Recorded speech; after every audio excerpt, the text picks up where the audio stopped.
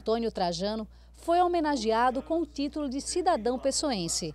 A propositura foi do vereador-presidente Durval Ferreira. Para a Câmara Municipal, para mim, é motivo de muita alegria. Nós estamos hoje apresentando esse título de cidadão pessoense ao nosso querido amigo Antônio Trajano, que vem colaborando, vem tendo relevante serviço prestado não somente a João Pessoa, como a toda a Paraíba. Então, por conta disso, nós fizemos essa justa homenagem ao nosso querido Antônio Trajano, oferecendo um título de cidadão pessoense. Inclusive, a Câmara tem parceria com os Correios. Nós, recentemente, nós tivemos, fizemos uma visita ali no Correio e fomos muito bem recebidos e mostramos essa parceria que é importante, principalmente no que se trata aos nomes, do, do, dos, dos nomes de ruas que muitas, muitos conjuntos, muitos lugares ainda não têm e nós sabemos que o cidadão tem que ter um nome de rua e um número de casa. E ali o Correio fez essa parceria com a gente e hoje, graças a Deus, está praticamente normalizado. Então, parabéns ao nosso querido Antônio Trajano, que é o mais novo irmão pessoense a partir de hoje.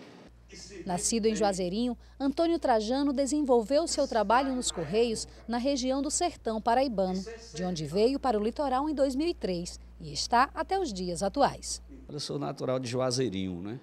Eu entrei nos Correios em 80, né? Trabalhamos 23 anos nessa cidade, em Juazeirinho, depois fui transferido para Taperoá, né? prestei serviço durante 11 anos. Posteriormente fui para Patos, né? no advento da época do Banco Postal, nós alçamos a condição de supervisor do Banco Postal e trabalhamos na região sertaneja durante um ano. Em 2003 nós é, fomos convidados a assumir uma função aqui em João Pessoa, na gerência de administração. Estamos aqui desde 2003 prestando, tentando prestar um bom serviço. Né?